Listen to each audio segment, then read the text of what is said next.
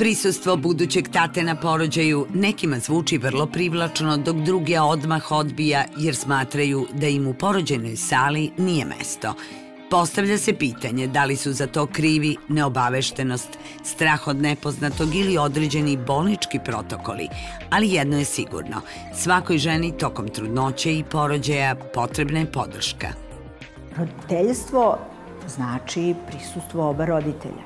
Roditeljstvo čini par. I kada je reč o pripremi za porođaj, pre svega, tu je e, uloga partnera, odnosno budućeg oca, ali namerno kažem partnera, jer u tom trenutku ta partnerska veza prirodno je da je negde na vrhuncu i najjača. A svakoj e, budućoj majci je oslonac i snaga, sigurnost koju njen partner njoj daje neophodna. U Domu zdravlja Savski venac više od 10 godina uspešno se odvijaju programi namenjeni budućim roditeljima, psihofizička priprema trudnica za porođaj, škola roditeljstva, psihološka priprema za roditeljstvo, a odnedavno i savetovalište za dojenje. Tako da e, je uloga oca izuzetno e, važna i prisustvo budućih očeva u našim programima e, škole za roditeljstvo je zaista nešto što to potvrđuje. A najlepše su priče kada oni dođu na naše okupljanja i maltene na svakom okupljanju po neko ispriča da e, iz nekih medicinskih razloga je majka morala da se vrati na 2-3 dana u porodilište, a da se tata sam brinuo uz pomoć baka o bebi i da je to sve dobro ovaj, funkcionisalo upravo zato što je prošao programe, što je čuo nešto, što je ušao u priču zajedno sa mamom i verujte ovaj, da su se, da se ti mladi očevi uvek onako osjećaju srećno i zadovoljno. Odluka o prisustvu muža na porođaju trebalo bi da bude zajednička. Mi uvek o, povedemo priču o prisustvu oca na porođaju, ali e, pre svega insistiramo na njihovom partnerskom razgovoru o tome e, da li e, tata, budući otac, jel te, želi i može tome da prisustvuje. Vrlo je važno da ako on kaže da ne može, da prosto misli da to ne bi bilo prijatno, trudnica razume da ona nije ni manje voljena, niti e, ta beba manje željena, nego da je to negde prosto prosto tako. Marko Borđoški je otac troje dece koji je prisustvovao tek trećem porođaju svoje supruge.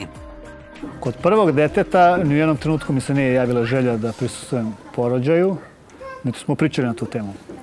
Već kod drugog tu su bili razgovori, ali mislim da nisam bio spreman. A kod trećeg, jedno jutro sam ustao i rekao sam hoću. I tako je se desilo i nisam, nisam zaželio ni jednom trenutku. Najveći mi je bio problem, pošto supruga bila u bolnici i nije se znalo tačno kad će se porodi. I najviše sam se plašio da ne zakasnim tamo, jer nisam znao ni kad će se desi, a, a opet deca su ostala ovde, pa sam morao sa decom da se bavim i onda mi je bilo malo jedino to, rastrzano da li ću stići. Inače, posle se bilo savršeno. Marko ističe da je porođaj njegove supruge za njega bio čaroban i da je bogatiji za jedno novo iskustvo koje se ne može opisati rečima.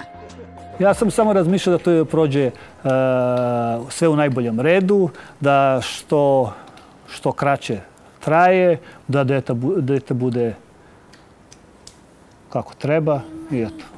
A pošto se to tako brzo ovaj, odvilo i puno je bilo tu i događaja i novih neki novi stvari za mene i bilo, bilo je čarob, čarob, čarob. Kad se pojavilo dete, ne.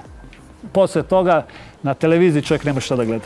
Uglavnom su me pitali, kad sam rekao da sam prisustvovao porođaju, pitali su me gde si stojio, kod glave ili kod nogu?